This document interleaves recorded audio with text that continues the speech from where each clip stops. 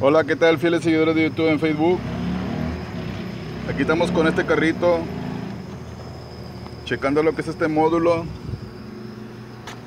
Este módulo pues ya en sí le estoy viendo muchos problemas. Viene siendo este carro, ¿se recuerdan? Así me lo trajeron desarmado, no crean que yo lo desarmé así. Bueno, este carro fue inundado y esta pieza pues es es un módulo que te controla la transmisión y te ayuda a que prenda el carro y los frenos.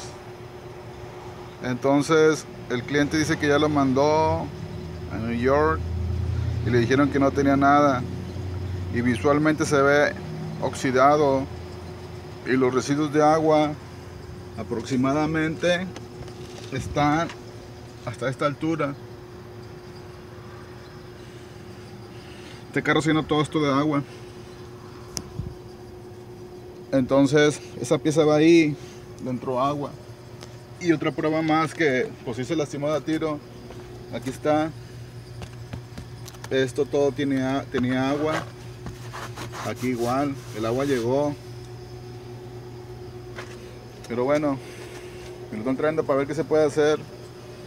Y el diagnóstico que le voy a dar a este carro va a ser se desprogramó la pieza, se lastimó, se desprogramó y hay que cambiarla y hay que programarla. Hay un programa especial para este carro, se llama Vida, así se llama, Vida. El detalle es que con ese módulo que está puesto, el carro no prende, pero prende el tablero y con este otro no prende el tablero. El detalle está que el cliente dice que le hicieron prender Tal vez a lo mejor le prendió un rato, pero la misma humedad, por no haberlo secado, se echó a perder. Esta pieza la tuvieron que haber quitado y la tuvieron que haber limpiado, cosa que no hicieron. Entonces, esa humedad terminó por lastimarlo. Este, y también vi el fusible número, bueno, no es número 7, viene siendo el fusible. Tiene dos fusiles quemados, este y este. Pero hay varios fusiles que cuando lo checas no tienen voltaje. En este módulo dañado. En ese sí tienen voltaje. Entonces yo le echo la culpa a esta pieza. Y ahorita lo que iba a hacer, le iba a empezar a checar. ¿Verdad? Le iba a empezar a checar. Le iba a empezar a checar a ver qué tal con esta lupa, como ven. Bueno, los dejo y nos vemos en otro próximo video.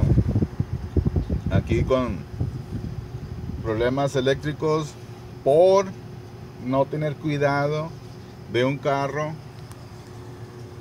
del carro que cuando llueve protegerlo.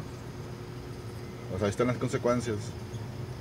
Yo digo que sale mucho más caro este carro es un carro ya viejito es un 2006 quiero llegar a reparar pero esa va a ser decisión del dueño y él dice que ya tiene tantos meses para el carro este y eso también le agrava más el problema.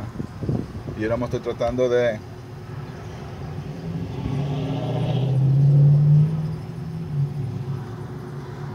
yo me estoy tratando de, de ver si se puede hacer algo pero no. Yo veo que es programación y ese equipo pues es un Volvo que me han traído una vez al año, imagínense. El equipo es demasiado caro.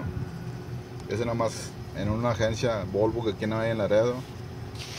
No hay el sur de Texas, no, no hay una. Y habrá que llevarlo a la agencia por si quieren. Y a ver qué tal. Bueno, nos vemos en un próximo video. Ya saben, yo soy vídeo de GT Cross Service. Ahí estamos pendientes. Mírenlos. Si les gustó esta información, ya saben, suscríbanse por si quieren ver más videos. Nos vemos. Hasta la próxima. Bye.